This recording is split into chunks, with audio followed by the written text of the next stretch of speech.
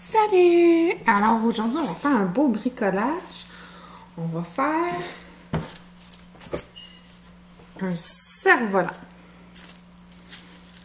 Hein? On va le faire maison. C'est très facile. Alors, pour un cerf-volant, on a besoin d'un sac en papier, d'un sac poubelle, deux bâtons de bois, euh, pour le décorer, on peut prendre du papier de soie. Euh, vous pouvez prendre de la laine ou de la. Des ciseaux. Et du ruban adhésif.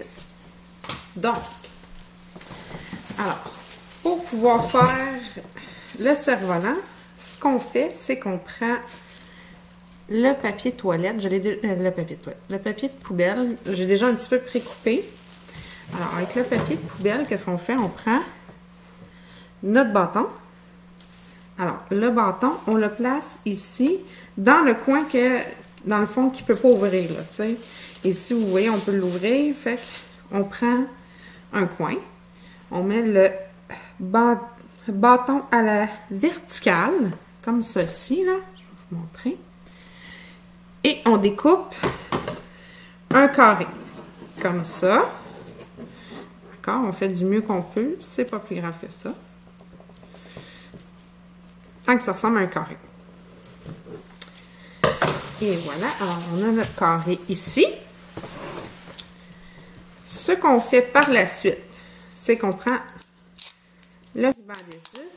On fait la largeur la grandeur de chaque côté, comme ça. On coupe la base. Même si ça dépasse, c'est pas grave, on va le, recouper par la suite. on peut notre bâton. On vient ici, on retourne le papier, le sac à poubelle. On laisse environ, dans le fond, on colle la moitié du ruban qu'on a sur le sac poubelle pour nous garder une bande collante. On retourne le papier, puis on vient recoller le morceau comme ça. Et voilà. Alors, ça fait ça ici. On recolle comme ça et les côtés qui dépassent du ruban collé, on vient les couper. On n'en aura pas de besoin ça comme ça. De chaque côté. D'accord? Et voilà. Alors, on fait ça pour les quatre coins. on va refaire. On prend le ruban collé. La largeur qu'on a besoin.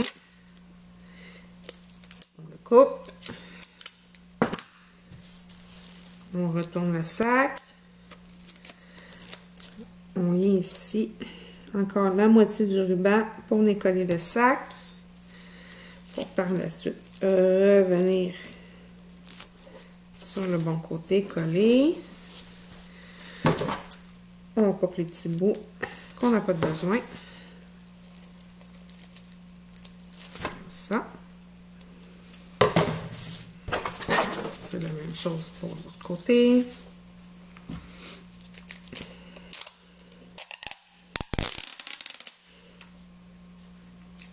On le fait vraiment pour les quatre côtés. On continue. Et c'est un sac poubelle plastique, dans le fond, qu'on a besoin pour que ça marche.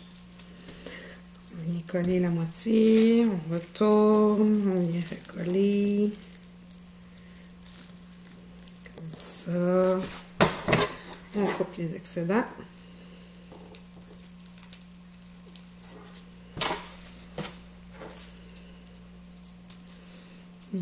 Ici. une dernière fois.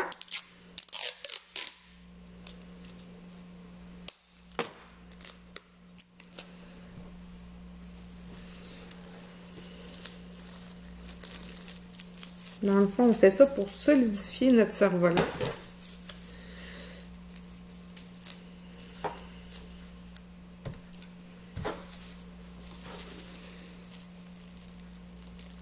Et voilà.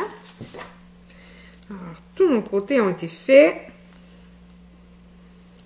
Maintenant, c'est le moment de mettre nos bâtons. Alors, on met nos bâtons.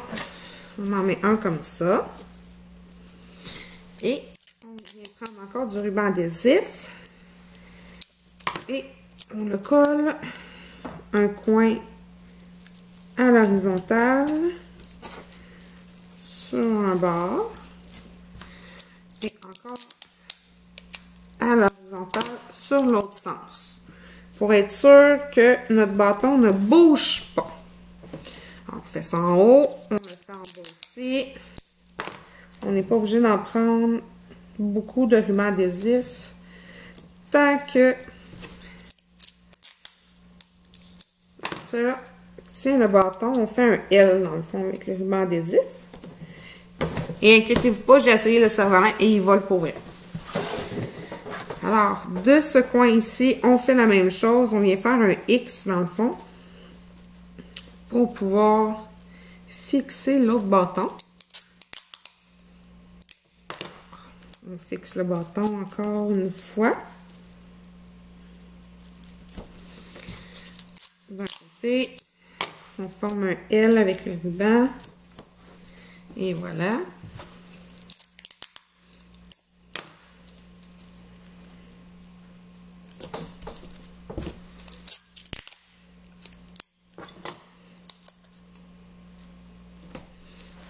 Et aussi, dans le milieu du X, on vient mettre un petit ruban pour être sûr que dans le fond, les deux ne bougent pas. Restent ensemble. On va former un X avec le ruban du mieux qu'on peut. Bien entendu. Un petit X. Comme ça, ici, là. D'un côté et de l'autre pour être sûr que les deux bâtons ne bougent pas. De l'autre côté, on colle ici. On peut demander l'aide de nos parents. ça peut être un petit peu plus difficile quand on vient faire le petit X dans le milieu. Et voilà, c'est fixé. Ça ne bougera plus. On fait ça comme ça. Par la suite, on prend les ciseaux. On vient faire deux petits trous. On peut prendre une fourchette aussi pour faire des plus petits trous. Moi, j'ai pris une barre de ciseaux. Deux petits trous de chaque côté du X dans le milieu. Comme ça, ici. Je ne sais pas si vous voyez bien. Là, on a des petits trous. Alors, c'est ici qu'on va passer la laine. Parce que moi, j'ai pris de la laine, mais vous pouvez passer du fil. Alors, on vient passer la laine dans le petit trou.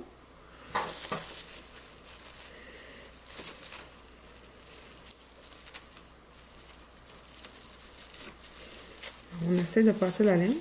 C'est très... Un fil, ça peut être plus facile. Euh, si maman vous. Si maman ou papa vous le permet, vous pouvez prendre une aiguille aussi. Euh, pour passer dans le trou.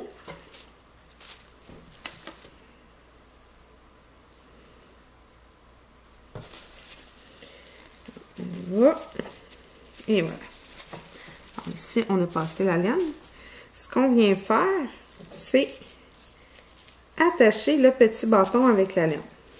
Parce que dans le fond, le petit bâton va être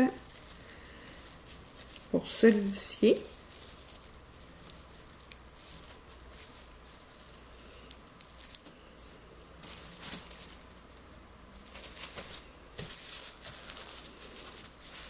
On va faire ici. On va un nœud pour être sûr que le bâton on le tient bien. Un petit ici. Et voilà. Alors, après, par la suite, on vient rattacher. On laisse un petit espace dans le fond pour pouvoir l'attacher. On va faire un petit nœud ici aussi. Ça soit bien solide. On repasse dans le petit trou de l'autre côté.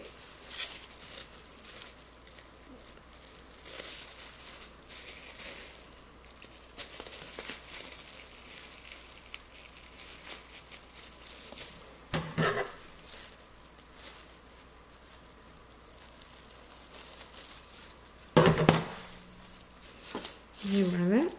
Là, on vient attacher les deux ici ensemble. Pas obligé que ce soit serré. Faut pas que ça soit serré. On vient faire un petit nœud. Et voilà. Comme ça. C'est fait. On coupe l'excédent.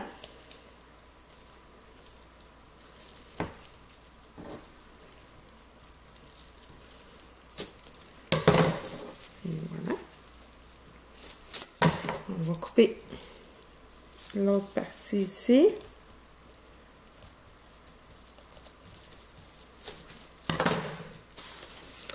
On le retourne.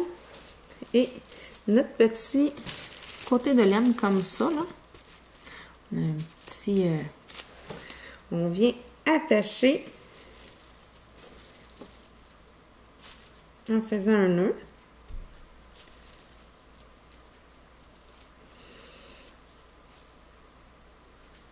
Alors ici, on a notre cerf-volant qui est attaché à la laine. Alors, on a notre fil pour le faire voler. Par la suite, dans le fond, qu'est-ce qu'on va faire? On va venir prendre des petits bouts d'adhésif encore pour venir décorer notre cerf-volant. On vient le coller ici, comme cela. On prend l'autre côté. Même chose encore une fois, on vient le recoller. On peut en mettre trois, on peut en mettre deux, on peut en mettre le nombre qu'on veut. C'est juste pour faire plus joli. On recoller encore une fois, comme ça. Et voilà, on a terminé notre cerf-volant. Il peut maintenant aller voler au vent. Bonne journée!